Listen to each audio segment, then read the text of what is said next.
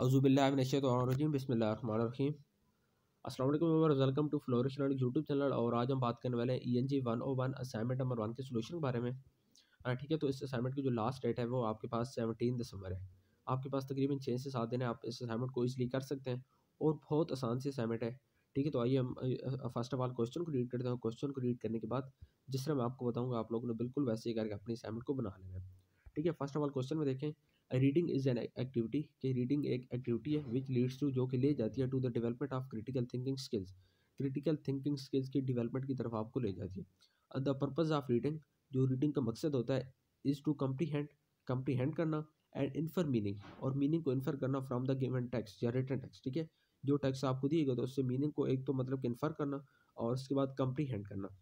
Next आप देखें अब passage has been given to you यानी कि पैसेज आपको दिए गया your task is to read the passage carefully आपका जो काम है वो ये कि आपने इस टास्क को केयरफुली पढ़ना है and then answer the multiple choice question given below और उसके बाद जो नीचे मल्टीपल चॉइस क्वेश्चन आपको दिए गए उसका आपने आंसर दे देना। अब हम इस मतलब पैसेज को रीड नहीं करेंगे, यहाँ पे आपके पास पाँच एम आपको दिए गए और उसका आंसर आपने नीचे मतलब कि इसी के अंदर से ढूंढ के आपने बताना है। तो यहाँ पे क्वेश्चन नंबर वन देखें। What issues does Martin Luther King speech address ठीक है? कि कौन सा आप यहाँ पे, यानी कि आसान लफ्ज़ में आपको अगर क्वेश्चन समझाऊँ तो मेन चीज़ मतलब कि जो मार्शल लाथर किंग की स्पीच थी? ठीक है, उसका जो मेन टॉपिक था, वो क्या था? तो इसका जो आंसर आपको मिलेगा, यहाँ पे आप आ जाए, ठीक है थर्ड लाइन में। इन विच ही कार्ड ठीक है कार्ड और आगे आप देखें यहाँ पे, ये पूरी लाइन इसका आंसर है। ठीक है, यहाँ पे देखें called for an end to racism ठीक है कुछ कॉल की कि जो रेसिज्म है मतलब कि नस्ली मिजाज है। ठीक है, इसको in the United States United States में इसको ख़त्म किया जाए। एंड कार्ड फॉर और उस और उसने कहा है for civil and economic rights ठीक है? और उसने सिविल और इकनॉमिक राइट्स पर ज़ोर दिया था। ठीक है तो ये मतलब उसकी जो स्पीच थी, जो तकरीर थी उसकी, उसका जो मेन टॉपिक था वो ये था। तो यहाँ से ये इसका बिल्कुल करेक्ट आंसर है, ठीक है, मैंने आपको कन्फर्म करवा दिया। नेक्स्ट आप देखें जो question number M C number two है। What pushes King to speed King to speak I have a dream क्या चीज़ जो बादशाह उसको बैक करती है, ठीक है? उसको पुश करती है कि आप अपना जो आई हैव अ ड्रीम ठीक है? जो आपको ख्वाब है, उसके बारे में आप बताएँ। आई हैव अ ड्रीम के बारे में आप बताएँ। इस चीज़ के बारे में किस चीज़ ने मतलब कि बादशाह को पुश किया तो फिर उसने आई हैव अ ड्रीम का ज़िक्र किया। ठीक है? इसका आंसर जी आपको यहाँ से मिलेगा। ठीक है? यहाँ पे देखिए। आई हैव अ ड्रीम ठीक है? I have a dream prompted by Mahalia Jackson cry उसने कहा था, ठीक है? माहिला जैक्सन ने कराए, कहा कि टेल देम कि tell them about the dream Martin कि मार्शन इनको अपने ख्वाब के बारे में बताए ठीक है, ये चीज़। I have a dream prompted by Mahalia Jackson cry tell them about the dream Martin ठीक है कि मार्शन इनको आपने ख्वाब के बारे में बताया तो ये इसका करेक्ट आंसर है कि महिला जैक्सन के कहने पर उन्होंने इस चीज़ का मतलब कि जो आई हैव ड्रीम था, उसका ज़िक्र उसने किया है। ठीक है तो यहाँ पे ये जो एम नंबर टू है, बिल्कुल करेक्ट है, आपको कंफर्म करवा दिया नेक्स्ट आप देखें from the passage give one word to leave उसके बाद जो पैसेज आपको दिए गए, इसमें से आपने एक लफ्ज़ बताना है टू लीव के बारे में।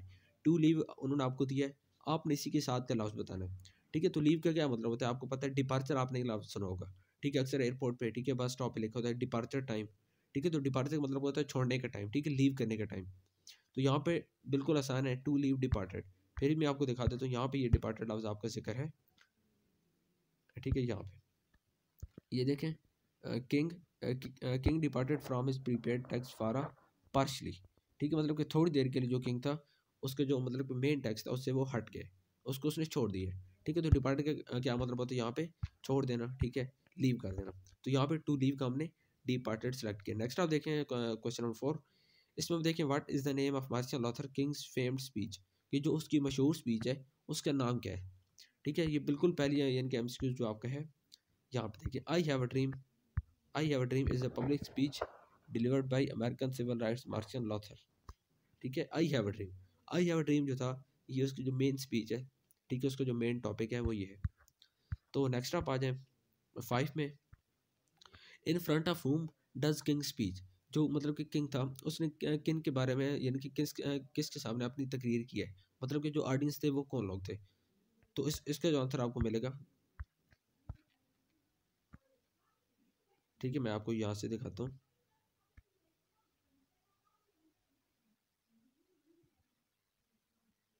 ये देखें डिलीवर्ड टू ओवर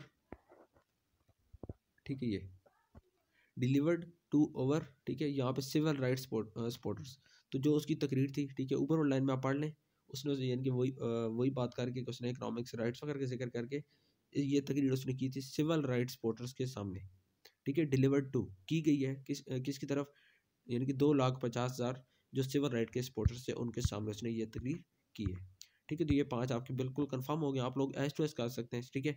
इसी तरह आप इसको हाईलाइट कर दें, इसके अंदर कोई कलर यूज़ कर लें, या इसको मतलब कि सिर्फ़ आप बोल्ड कर लें, ठीक है? तो आपका ये आंसर करेक्ट है। आपने सिर्फ़ करना क्या है कि एम का आंसर आपने लगाने हैं।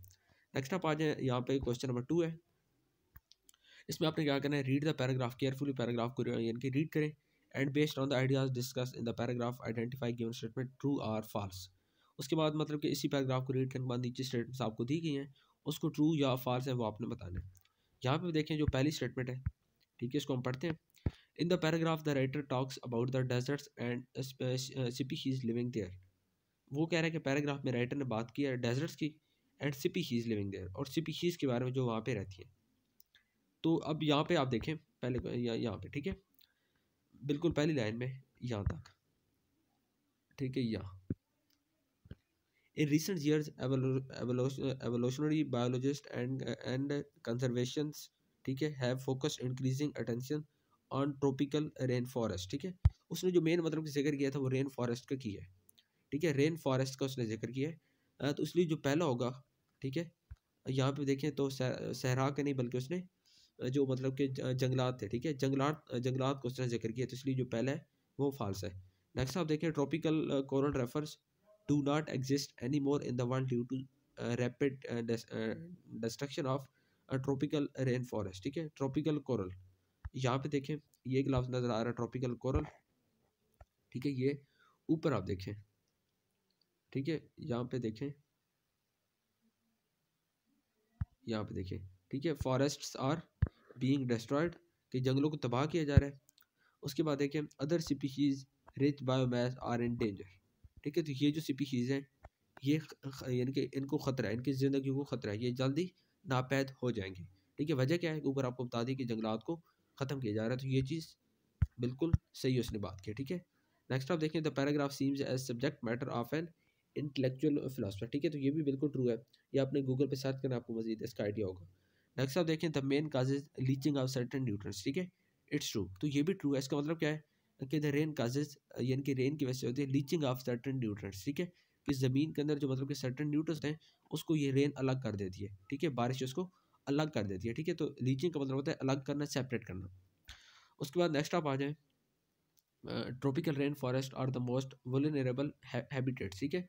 कि जो ट्रॉपिकल रेन फॉरेस्ट है, ये मोस्ट वुलनरेबल हैबिटेट्स हैं। तो ये भी ट्रू है, इसका आंसर आपको यहाँ पे मिलेगा।